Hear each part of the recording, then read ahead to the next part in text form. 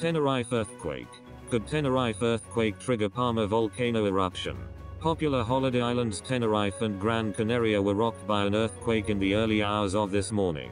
But could the earthquake trigger an eruption from the volcano in nearby Palma? Institute said the tremor measured 4.4 on the Richter scale and happened at 6.36 am local time, at a depth of 5 kilometers. Only a minute earlier, a smaller quake, measuring 1.9 on the Richter scale, was also registered in the same place. Two other seismic movements were also recorded, one of them at 2.23 am with of magnitude 1.7 and another at 3.07 am with a magnitude 1.9. The Cumbre volcano is located on the island of La Palma in the Canary Islands. The volcano is part of an active, albeit currently dormant, volcanic ridge. It has erupted twice in the last 70 years, first in 1949 and then 1971.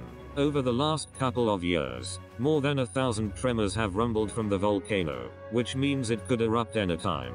Since the start of this year alone, there have been a total of 9 earthquakes measuring magnitude 1.5 or higher across the Canary Islands. The largest of these measured a magnitude 3.5 on the 3rd of January and was located on El Pinar, Canary Islands. The Cumbre Vieja is approximately 2,600 miles from the British Isles. Volcanology Institute. Involcan says earthquakes of 4.4 magnitude have been previously recorded past between Tenerife and Gran Canaria.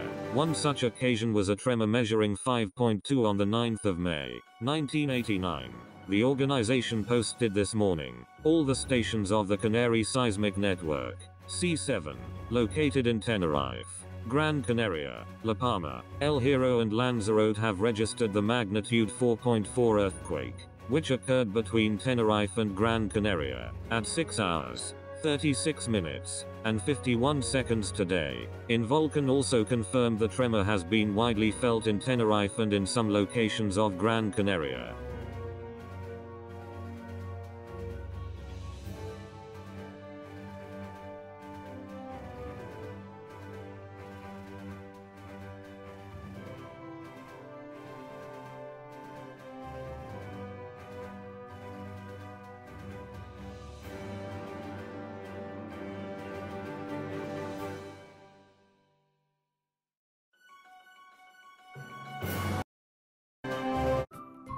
Thank you for watching.